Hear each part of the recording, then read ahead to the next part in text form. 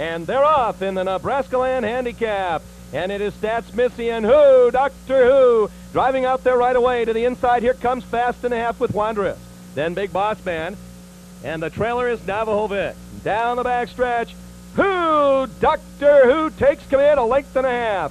Fast and a half in the middle is second to the inside Big Boss Man. Wanderous a half length back further in fourth. Then a gap of four to Stats Missy and the trailer Navajo Vic.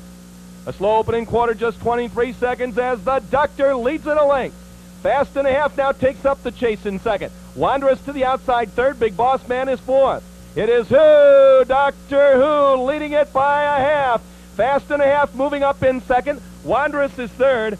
And here they come into the stretch. Who, Doctor Who has the lead. Fast and a half up alongside in second. Wanderous to the outside is third as they turn into the lane. Who, Doctor Who, feels the sting of the whip. And on the outside, Fast and a Half is dropping back now. Wanderous coming on in second. It is Who, Doctor Who, however, now galloping away. Wanderous is second, Fast and a Half third. Who, Doctor Who, to win the Nebraska Land. Who, Doctor Who by two lengths. Wanderous was second and Fast and a Half finished third.